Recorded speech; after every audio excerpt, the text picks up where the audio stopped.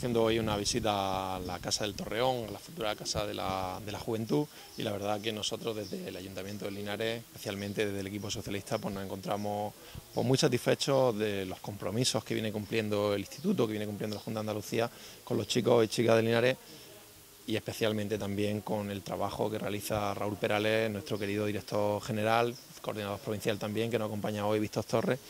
con los chicos y chicas del Linares. Son muchos los compromisos que tiene adquirido el Instituto con, la ciudadanía linarense, muchos los compromisos que vienen realizando. Somos centro de sede de, certamen de graffiti, somos sede también de certamen de breakdown. Ayer mismo anunciábamos en, en Jaén, en el aula magna, pues la continuidad de esos campos de trabajo que se vienen realizando en Cástulo y que a mí como concejal de patrimonio también me gusta recordar que fueron pioneros en la investigación moderna en Cástulo y también han sido el germen de ese gran proyecto que es Forum MMX y también anunciábamos que continuaban las obras de la Casa de la Juventud, de la Casa del Torreón, pues que desgraciadamente lo sabéis, hace unos meses con, con, esta crisis económica y con el derrumbe de la empresa que tenía adjudicada la obra, pues habían quedado colgadas.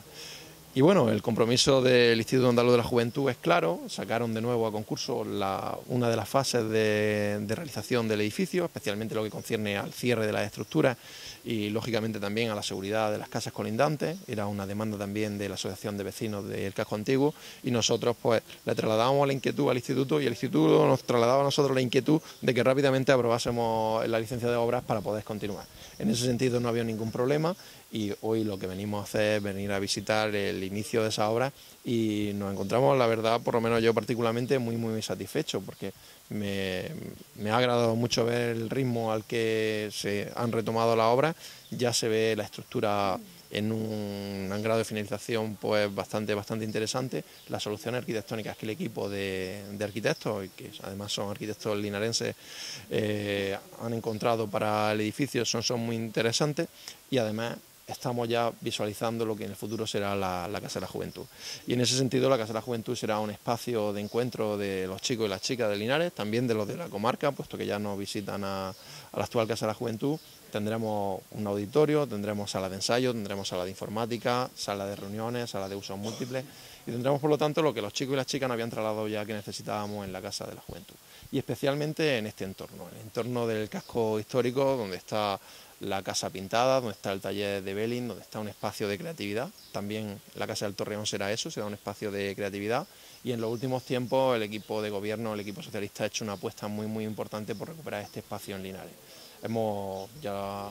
eh, avanzado en la, inauguración de lo que fue el Pósito, ese gran centro de recepción de visitantes de, de Linares, el Museo Rafael, está el conservatorio aquí en nuestro entorno, está el edificio antiguo del conservatorio, que actualmente es el juzgado número, número 5, tenemos el proyecto ya de realización de lo que futuriblemente será el uso de la casa del Palacio Zambrana. Y tenemos este gran centro de, de reunión futura que será la Casa del Torreón, la Casa de la Juventud. En ese sentido, nosotros desde el equipo de gobierno, del equipo socialista, nos encontramos muy muy satisfechos porque estamos recuperando el casco histórico, estamos recuperando este centro de, intercomunicación y además los vecinos y las vecinas de aquí del casco nos lo dicen, nos dicen que la apuesta por, esta parte de la ciudad que se había quedado a otras manos y estamos al lado del centro es muy importante para ellos puesto que la población